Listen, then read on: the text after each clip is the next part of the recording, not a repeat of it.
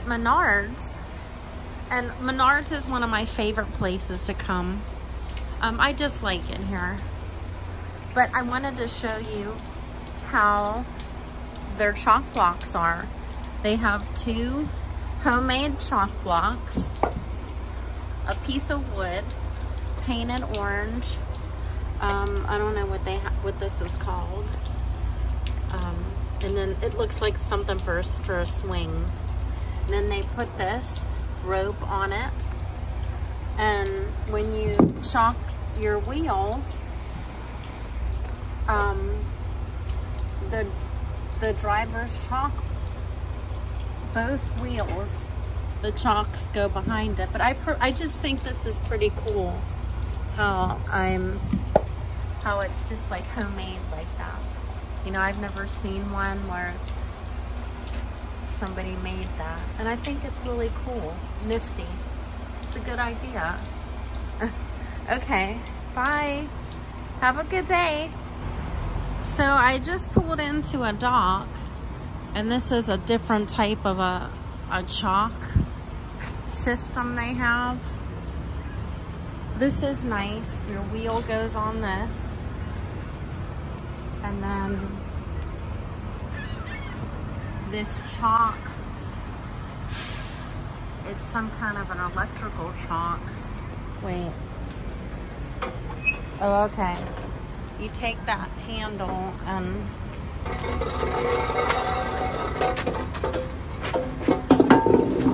okay, it's it's it's not electrical, but it's a manual one that's attached to this building and it's like an A A frame with a spring and then you grab the handle and just push it over to where you want it. So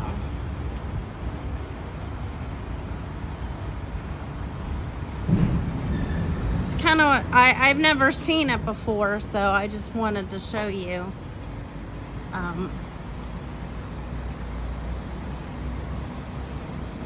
show you it. I always just see the loose ones on the ground. So this was interesting. I'm at the Coca-Cola bottling company. Here's a nice little chock. It's chained up and then it has a nice handle for you to put underneath your wheel. Really nice. So these, these chock blocks are probably the ones that you're gonna see a lot of. But I will tell you that just from me driving around, these chock blocks are a little too small for that kind of a tire. You can see that you know, trucks have ran over this. And this isn't very safe right here. I mean, it's really, I mean, it probably will, see, look, they need to replace that. The whole thing's messed up. That's broke. This is starting to break right there. Those are all, these all need replaced this is broke. Well, what you're supposed to do, I'm gonna take this one, is just put it there. And then it's supposed to, to help to prevent it from moving on you. My tandems are slid back all the way to the end because when that for it's for safety. Everything's for safety. Chock blocks for safety. Sliding your tandems back is for safety. So when the forklift guy comes in to the back of the trailer, that he's not going to be bouncing around. The trailer's not going to be bouncing around. It's not going to be moving because you can feel that moving when you're in your truck as well. So Everything's for safety. But these chock blocks need to be replaced.